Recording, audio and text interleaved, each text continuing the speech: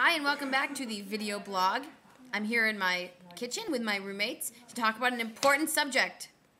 All four of us are women in the church, and there are also men in the church, but we're women in the church who are single.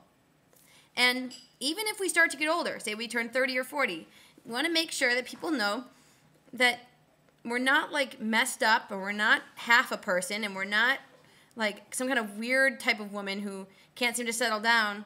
We're just whole people that God made that are perfectly fine to minister and do things, not just with the youth group, um, not just with women's ministries, but in all kinds of ways as normal, whole people.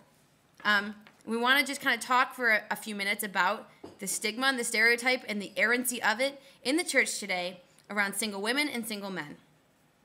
This is half of a sandwich cookie. Delicious cookies, but this is just half. This is not you. If you're single, you are not half a cookie floating around in the universe trying to find the other half of the cookie. You are a whole cookie, if anything, not half. You don't have to find the other half. You are whole. That said, I think you're more like something else entirely. We're going to talk for a minute about brownies and ice cream. I find that both go very well together. Sometimes it's better with both of them, and sometimes it's just better separately. Erica, what do you think is better? I think it depends on the day. Erica says it depends on the day. I agree. When the brownies just came out of the oven and they're all gooey and warm and delicious, I just want to eat the brownie by itself. And then sometimes on a hot summer day, I just want ice cream by itself. We have visual examples. Look, we've got we've got our brownies. Mmm, brownies. Erica, will you get the ice cream? She especially when we, especially when the ice cream is really good ice cream. We have a New York Super Fudge chunk. Look at this. Mmm, ice cream. Really good by itself. Sometimes with the brownie, it's just too much. Let's be honest. So now that we've covered that, that number one, you're not half of something, you're a whole something.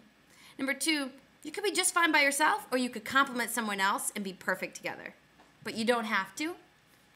My third point, track with me here, is if you are feeling kind of somehow not whole.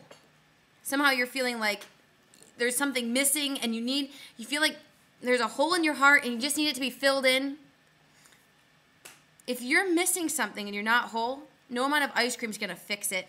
No amount of the other sex is going to fix it. It's like having a brownie that is missing an ingredient. Say you're missing an egg, or you're missing the water, or what if you're missing the whole brownie mix? Nothing about adding ice cream to it is going to fix that. Please, please don't try that.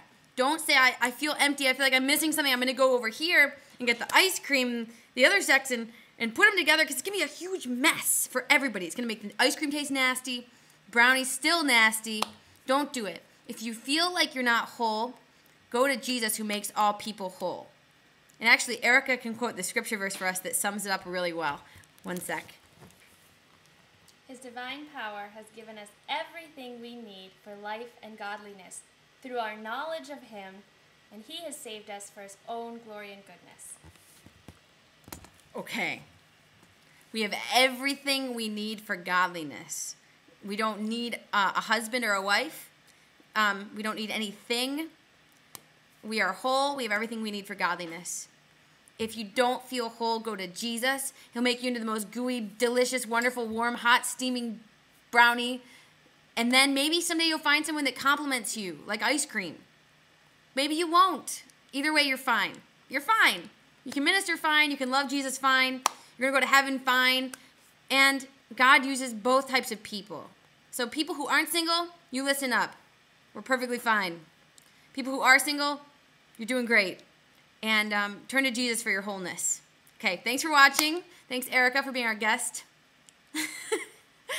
okay, come back again.